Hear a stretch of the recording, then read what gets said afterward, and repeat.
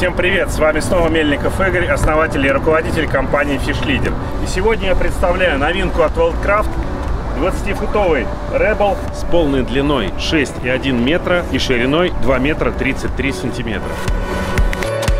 Это полностью цельносварной катер, выполненный по методу экструзионной сборки, то есть без видимых сварочных швов, с свободным носовым кокпитом, имеющим большие стоки слива и полуоткрытой кабиной. То есть сверху кабина имеет металлическую часть и шторки, которые возможно открыть при эксплуатации катера в летнее и теплое время. Корпус усилен боковой зиговкой, которая дает дополнительную жесткость и позволяет делать его более легким, чем корпус со стандартным набором. Также экструзионный боковой профиль является брызгоотпойником и придает дополнительную жесткость. Толщина металла на днище составляет практически 5 миллиметров, Плюс э, мы видим варной мощный киль, который является двухстенным килем. То есть внутри этого киля, если можно просверлить отверстие, и вода не попадет внутрь, так как киль имеет две стенки.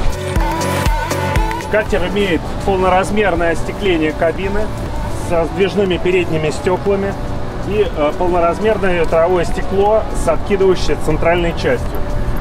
Сзади у нас установлен транспортировочный тент на кормовой части мы видим выносной транец, который является полным продолжением днища. То есть по днищу катер составляет 6,7 метра. Откидную лесенку для спуска и подъема с необорудованного берега из воды. Ручку для подъема из воды. И новинку от Suzuki 200-сильный облегченный мотор со штатным винтом из нержавеющей стали. По левому борту в кормовой части расположен варной алюминиевый транец для дополнительного мотора мощностью до 30 лошадиных сил. Здесь мы имеем систему Click Connect, быстрого подсоединения топливной линии дополнительного мотора к основному топливному баку катера. Практически по всей длине корпуса архитектура днища выполнена по типу ласточкиного крыла. Такое решение придает катеру хорошую боковую остойчивость и хорошо держит его в поворотах. Здесь же мы видим варное крепление для датчика эхолота. Варной алюминиевой платформе расположена силовая установка 200 от Suzuki. И эта платформа является продолжением корпуса днища внутри катера. Также с этой платформы удобно брать рыбу и, соответственно, купаться и плавать, потому что здесь имеется варная ступенька, поручень ручка и лесенка для подъема из воды. Справа и слева с боков лодки приварены два рыма для буксировки лыжника.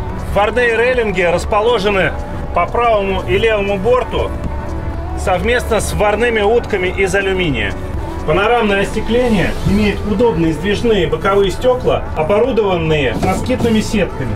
В кормовой части расположен широкий транец, в которой находится садок-аэратор. Садок-аэратор емкостью порядка 140 литров имеет систему автоматической смены воды и постоянной аэрации. Это поможет сохранить ваш улов в течение нескольких суток, даже в жаркую погоду. Боковые полочки для размещения плесен, спиннингов и другого оборудования. Задний трансовый отсек имеет три отделения. В крайне левом отсеке расположен стартерный аккумулятор основного двигателя. Второй отсек технического обеспечения, где находится помпа откачки воды из трюма, забор воды для системы мытья палубы и многофункциональный выключатель-переключатель массы. И третий отсек, отсек рундук для различного оборудования, вещей, кранцев или сюда можно поставить дополнительный аккумулятор. Задняя часть кабины обрамляет опускающийся вниз ходовой тент. Опционно лодку можно добавить тентом, который будет закрывать полностью всю часть кокпита. Этот тент можно использовать с открытой дверцей, замотав центральную дверку и закрепив ее с помощью специальных хомутов с кнопками. Итак, мы имеем свободный проход, защиту от ветра и непогоды. Также тент легко можно демонтировать, полностью отстегнув молнию. Панель управления у Rebel выполнена в аскетичном и очень удобном, как у всех Worldcraft, читаемом стиле. По левой стороне находится прибор указатель уровень топлива, ниже вольтметр, спидометр. С правой стороны легко читается тахометр и крайне справа трим-индикатор. из клавиш, выполненных в виде тумблеров. Здесь расположена помпа откачки, навигационные и стояночные огни, горн звуковой сигнал, розетка прикуривателя, включение помп аэрируемого садка, кнопка включения светодиодного освещения во всем катере и дворник стеклоочистителя. Руль имеет механизм регулировки наклона. Справа установлена машинка газ-реверс основного двигателя Suzuki, подстаканник, клапан доливки гидравлические жидкости в гидроусилитель и Raymarine Dragonfly с 7-дюймовым дисплеем. Это универсальный прибор, сочетающий в себе карплотер и холод с функцией Down Vision.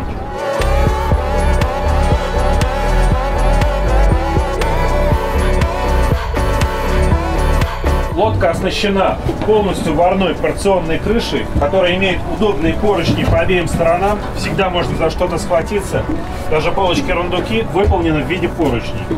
Полочки удобные, имеют полную подсветку. Сюда можно сложить различные мелочи и рыболовное оборудование. Передняя часть крыши выстегивается, и в жаркую погоду мы получаем практически открытый катер, имеющий лишь небольшую металлическую переборку, на которой, кстати, можно расположить различное оборудование, фароискатель, спиннингодержатели, дополнительные поручни, рейлинги. И эта крыша является основой держателем для сдвижных панорамных стекол. Крыша покрыта изнутри ковролином, что не дает ей отпотевать при перепадах температур, например, поздней осенью или ранней весной. Справа и слева по бортам расположены сиденья длиной метр сорок. Спинки сидений легко снимаются, и мы можем превратить этот блок сидений в кровать длиной 2,20 на метр сорок, где могут расположиться два человека. Также один человек может ночевать в этой части на полу. Пол выполнен из морской фанеры, сам по себе является теплым, и на коврике в спальнике можно отлично здесь ночевать. Рундук отсек для вещей и рундук-ступенька. Удобные фирменные сиденья от Weltcraft с подлокотниками имеют механизм регулировки вперед-назад и пневматическую подвеску. Панель пассажира имеет вместительный бардачок, куда можно поместить достаточно много барахла, документов, различного оборудования, подстаканники и прикуриватель с двумя USB входами для зарядки телефонов. Здесь же мы видим варные ручки. Всегда есть за что взяться на волне, есть за что ухватиться. Дверца посередине между двух лобовых стекол очень удобно для выхода. Просторный носовой кокпит где можно установить дополнительное кресло для рыбалки. Носовой кокпит имеет большие отверстия для стока попавшей сюда воды. То есть, если лодку захлестнет даже приличная волна, вода мгновенно уходит, так как отверстие диаметром почти 50 миллиметров. Верхняя часть брезентового тента легко отстегивается и превращает катер практически в открытый кабриолет. Монтировав ее, мы получаем много открытого места лишь небольшой отрезок металлической крыши, который абсолютно не мешает при рыбалке. Мы можем работать спиннингом в различных направлениях.